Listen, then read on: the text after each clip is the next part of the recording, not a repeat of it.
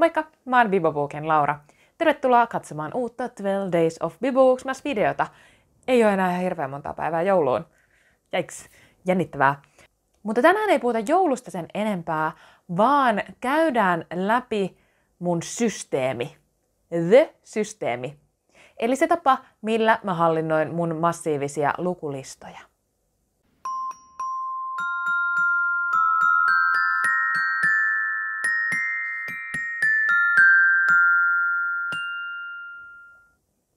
Mä veikkaan, että kaikkien kirjojen ystävien ongelma on se, että maailmassa on liian paljon hyviä kirjoja. Ja siis tavallaan sehän ei ole se ongelma, vaan ongelma on se, että meillä ei ikinä ole tarpeeksi aikaa lukea edes murto-osaa niistä kaikista hyvistä kirjoista. Tai murto-osa, mutta vain sellainen ihan pikku, pikku, pikku riikkinen murto-osa. Joten suuri ongelma on se, että luulista paisuu, kirjapinot yöpöydällä ja yöpöydän vieressä ja olohuoneessa ja keittiössä ja kaikissa huoneissa vaan kasvavat, jossain kohtaa romahtavat ja koko ajan tulee uusia kirjoja, joita haluaisi lukea. Ja tämä oli sellainen asia, mikä tuli puheeksi äh, yhden videon kommenteissa, ja mä aloin miettiä, että mulla tosiaan on systeemi. Tämä on tässä nyt viime vuosien aikana hioutunut, ja jonkun verran aina muokkautuu elämäntilanteen mukaan. Esimerkiksi tällä hetkellä, koska kun mä luen aika vähän printtikirjoja itselleni. Öm, mä, mun on helpointa tällä hetkellä lukea e-kirjoja ja äänikirjoja, niin se tavallaan on vähän muuttanut tätä systeemiä, mutta tämä vielä hakee muotoaan, että mihin tämä nyt tästä sitten niin kuin asettuu, kun tämä elämäntilanne nyt on vielä suhteellisen uusi. Mutta mä ajattelin, että mä teen sellaisen hienon kaavion, mä teen sille tilaa tähän, mä olisin halunnut sellaisen valkoisen jonkun flappitaulun ja mä kuvittelin jo itseni piirtämässä siihen kuin joku kyllitäti, mutta tuota, let's face it, mä en ole ihan hirveän hyvä piirtäjä. Meille ei ole flappitaulua ja tota, tämä tabletti ajakoon asiansa. Kolme, kaksi, yksi. Nyt meni päälle. Jos nyt ihan ensin lähdetään liikkeelle siitä, Mistä mä saan kirjavinkkejä? Mä lainaan yleensä kirjastosta vaan kirjoja, joita mä tavallaan oon lähtenyt sinne hakemaan. Mä varaan kirjan, sieltä varauksesta tulee ilmoitus, mä käyn hakemassa sen. Mä lainaan hirveän vähän sellaisesti spontaanisti, että mä kävelisin siellä kirjahyllyjen välissä. Lasten osastolla nyt jonkun verran on sitä tehnyt, varsinkin runojen puolella, mutta en siellä aikuisten osastolla, koska musta tuntuu, että mä yleensä sitten tartun jotenkin tosi tietynlaisiin kansiin, aika hempeisiin. Ja vaikka mä tykkään viihteestä ja romantiikasta, niin musta tuntuu, että jotenkin mun kirjan kansimaku on sellainen, että sitten ne kirjat ei ehkä yleensä olekaan, olekaan niin kauhean hyviä. Ää, toki jonkun verran ostan myös kirjoja, mutta ne on tosi sellaisia täsmäostoja, mä tiedän minkä mä haluan. Ja tietenkin aika paljon mulla tulee myös ää, arvostelukappaleena kirjoja ihan pyytämättä sekä mun toimittaja Minälle että mun bloggaaja Minälle ne ovat kaksi eri puolta minussa. Mutta ehkä suurin osa sellaisista vakavasti otettavista lukulistakirjoista päätyy mun listalle sillä tavalla, että mä näen sen kirjan ehkä somessa, mä luen katalogeja, kirjakatalogeja, ähm, ehkä mä luen siitä jonkun lehtijutun, mutta yleensä mun ensimmäinen reaktio, ja nyt me päästään tähän piirtelyvaiheeseen, äh, mä vaihdan tuohon ton mustan värin, on se, että mä teen varauksen kirjastoon. Tässä on kirjasto ja siinä on K. Tuo on niin kuin talo. Tämän takia musta ei tule kyllitätiä, mutta katsokaa, on, on vähän tuo perspektiiviä kuitenkin tässä. No niin, eli mä teen kirjastoon varauksen. Helmetillä saa olla 50 varausta kirjastossa ja yhteensä 100 lainaa. Ja se 50 tulee kyllä tosi nopeasti täyteen, varsinkin kun mulla on tapana varailla niitä seuraavan kauden uutuuskirjoja. Mm, Helmetillä pystyy myös friisaamaan, jäädyttämään niitä varauksia. Se tarkoittaa sitä, että sä liikut siinä varausjonossa eteenpäin, mutta siinä kohtaa, kun sä oot jonon ykkösenä, niin se kirja ei pamahdakaan sulle, vaan se jäät keikkumaan sinne kärkipaikalle. Tämä on todella hyvä ominaisuus, varsinkin jos varaa paljon kirjoja, koska yleensähän sit, jos niitä ei jäädytä, niin käy sillä tavalla, että sulla on yhtäkkiä seitsemän tuhat sivusta kirjaa, ja sä oot vaan silleen, että näitä ei ehdi millään lukea kuukaudessa. Koska tietenkin, jos on suosittu kirja, niin muutkin varaa sitä ja sä et pysty uusimaan sitä. Mutta tosiaan mun ensimmäinen reaktio on laittaa varauskirjastoon. Toinen vaihtoehto, ää, joka sopii paremmin niin kuin joillekin kirjoille, jos mä tiedän, että on joku kirja, jonka mä haluan kuunnella äänikirjana, niin mä laitan sen mun omalle listalle BookBeatissä. Tää olikin nyt vaikeampi. Tää on niinku, tää suorakulmio edustaa älypuhelinta. Eli mä laitan sitten BookBeatiin. Uh, mulla on todella pitkä lista kirjoja BookBeatissa, ja musta tuntuu, että sinne, niin kun, sinne hautautuu myös aika paljon kirjoja. Uh, sitten kolmas uh, paikka, missä mä kasvatan tällaista lukulistaa, on Goodreads. Se on ehkä sellainen, mihin mä nyt oon vähemmän laittanut viime aikoina kirjoja. Jossain kohtaa mä laitoin niitä sinne, mutta mut tosiaan aika paljon vähemmän piirretään tähän G niin kuin Goodreads ja se on niin kuin tässä tietokoneella, vaikka mä kyllä käytän sitä myös tietenkin puhelimella. Mullahan on myös läppäri, mutta tämä tietokone on tällainen vanha mallinen. Noin, sitten siinä on tällainen jalka.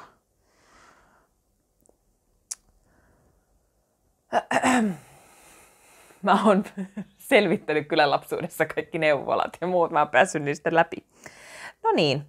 Eli tässä on niin ne kolme paikkaa, missä on mun lukulista. Sen lisäksi, että mitä kirjapinoja tänne kertyy. No, kuten arvata saattaa, niin mä haaveilen tosiaan useampien kirjojen lukemista, mitä mä oikeasti luen. Mulla on nyt ollut tapana tehdä blogiin sellainen noin 10-20 kirjan lista kauden kiinnostavimmista kirjoista, jotka on sellaisia, mitkä mä aion lukea. Tosin nyt mulla jätättää, mä oon ainakin kaksellen kolme kautta jäljessä, että mä en ole lukenut niitä kaikkia, koska mulla on ollut myös tapana tehdä sellainen yhteenvetovideo, että oliko ne oikeasti niin hyviä kuin mitä mä etukäteen ajattelin. Mm. Mutta sitten sen lisäksi mulla on niinku muitakin listoja. Tänä joulukuussa julkaisin tällä videon, jossa oli 21 kirjaa niiden ensimmäisten 20 lisäksi.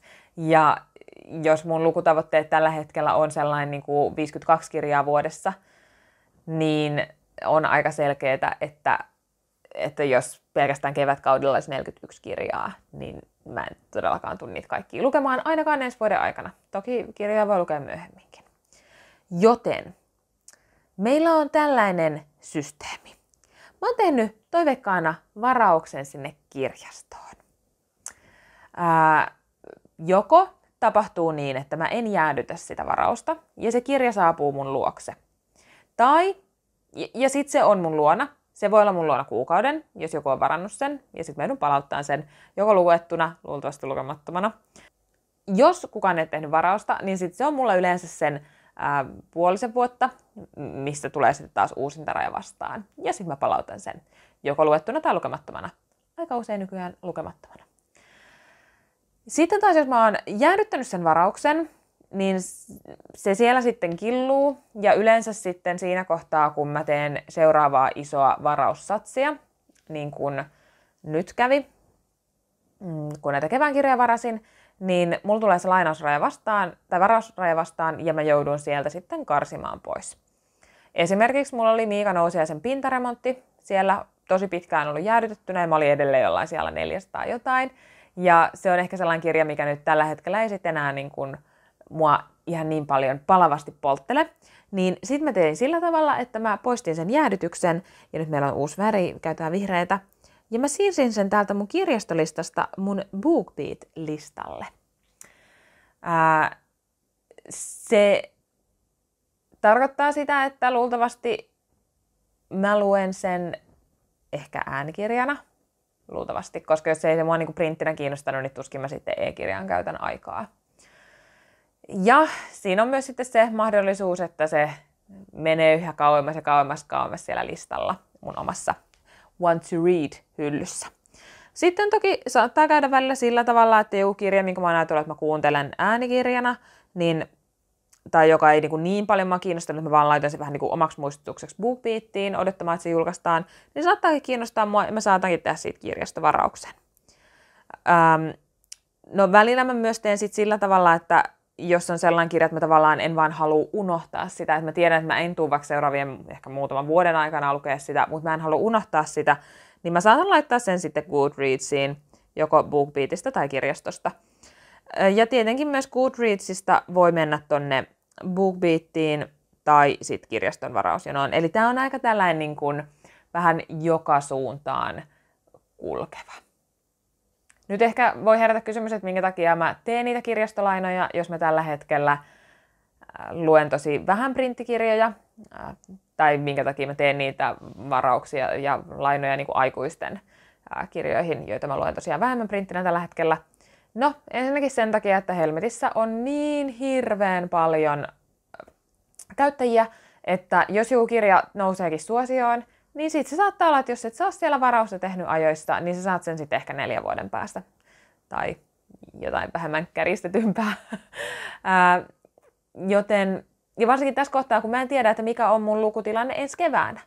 Eli onko mä sitten silloin löytänyt sellaisen arkirytmin, että mä taas luenkin enemmän printtikirjoja, esimerkiksi päiväuniaikaan. Niin en mä sitten halua, että siinä kohtaa mä että Aa, mä haluaisin lukea näitä uutuuksia, ja sitten mä en enää saa niitä koska ne saapuisi mun luokse ehkä sitten joskus vuoden päästä.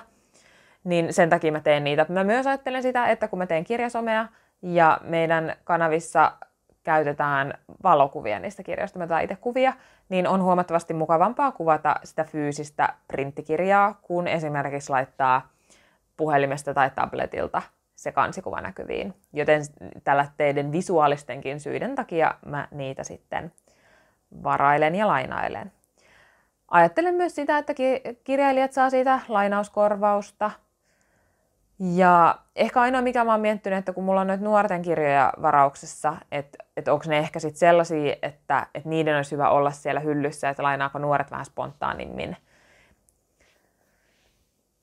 Niin se on ainoa, mistä mä oon vähän tuntunut huonoa omatuntoa. Mutta tosiaan siinä on kuitenkin se, että sit jos joku tekee varauksen, niin sitä mä joudun palauttaa ne.